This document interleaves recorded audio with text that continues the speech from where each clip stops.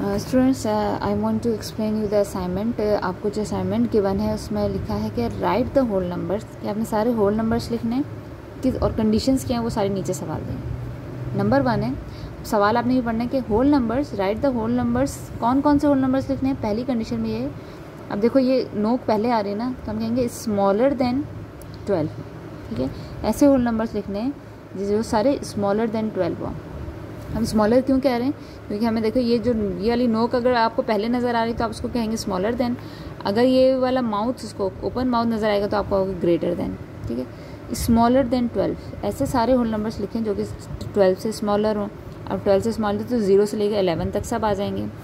लेकिन सवाल अभी ख़त्म नहीं हुआ है जनाब। आगे उन्होंने लिखा but greater than six whole number ऐसे लिखने हैं जो सारे ट्वेल्व से स्मॉलर हों, लेकिन सिक्स से बड़े हों। तो इसका मतलब है कौन कौन से आ जाएँगे? सिक्स से बड़े जितने भी हैं, यानी सेवन अब देखो सेवन ऐसा नंबर है जो सिक्स से बड़ा है ट्वेल्व से छोटा है।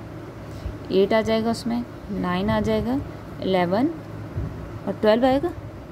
नहीं ट्वेल्व नहीं आएगा, क्योंकि उन्होंने कहा कि स्मॉलर देन ट्वेल्व होने चाहिए। इक्वल टू का साइन है ही नहीं। अगर ये होता है smaller than and equal to twelve equal का साइन भी होता तो हम ट्वेल्व को इंक्लूड करते, अभी इसमें नहीं करेंगे, यानी इसमें क्या आएगा? Seven eight nine and eleven ठीक है?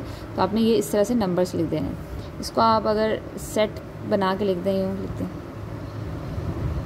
इस तरह से भी लिख सकते हैं नंबर लाइन में और उसको कोई भी नाम दे दें। अच्छा अब ये है कि होल नंबर्स सवाल आपका क्या right whole numbers greater than eight eight से ग्रेटर जितने भी हैं। तो इसका मतलब है नाइन टेन एलेवन ट्वेल्व और फिर ऑनवर्ड चलते जाएँगे। इस तरह लिखेंगे, आप सेट का नाम देंगे कोई सा भी एट खुद इंक्लूड नहीं होगा, क्योंकि कंडीशन क्या है? ग्रेटर देन एट होने चाहिए, ठीक है? नाइन टेन एलेवन और फिर ये डॉट डॉट डाल देंगे। अच्छा इसके बाद क्वेश्चन नंबर फोर है। राइट होल नंबर्स लिखना है। आपका सवाल ये है कि आपने होल नंबर से लिखना है, ठीक है? और कंडीशंस यहाँ गिवन है। Greater than and equal to ऐसे नंबर्स लिखने जो ग्रेटर देन हो और इक्वल टू हो किसके? ट्वेंटी थ्री के। यानी ट्वेंटी थ्री खुद भी इंक्लूड है, यानी ट्वेंटी थ्री के बराबर हो सकता है और इसके बाद ट्वेंटी थ्री से बड़े जितने भी नंबर्स हैं होल नंबर्स वो लिखना है। आप लिखेंगे twenty four twenty five twenty से ऑनवर्ड लेकिन ऑनवर्ड जा सकता था, लेकिन उन्होंने आगे कंडीशन बता दी है कि वो सारे numbers smaller than and equal to thirty four हो। ठीक है? इसका मतलब हुआ कि आपका नंबर थर्टी फोर से छोटे होने चाहिए और थर्टी फोर खुद भी इंक्लूड होगा। तो जब भी इस तरह कंडीशन है, इसका मतलब ट्वेंटी थ्री से लेकर थर्टी फोर तक जितने भी नंबर्स हैं, वो इस सेट में आ जाएँगे। Twenty three twenty four twenty five twenty six onward चलते चलते थर्टी फोर तक। क्योंकि थर्टी फोर खुद भी इंक्लूड है इसमें इक्वल आ रहा है ना।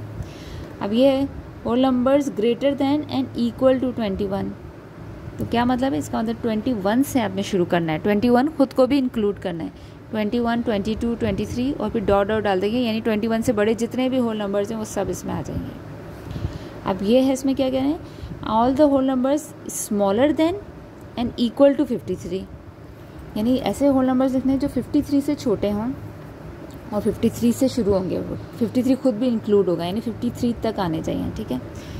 लेकिन शुरू कहाँ से होंगे? फिफ्टी थ्री से सारे छोटे होंगे और फिफ्टी थ्री तक तो आएँगे, लेकिन शुरू कहाँ से होना है? उसने कहा greater than and equal to forty five यानी ऐसे होल नंबर लिखने हैं जो फोर्टी फाइव से बड़े हों और इक्वल भी हो सकते हैं, इसका मतलब फोर्टी फाइव खुद भी शामिल हो जाएगा।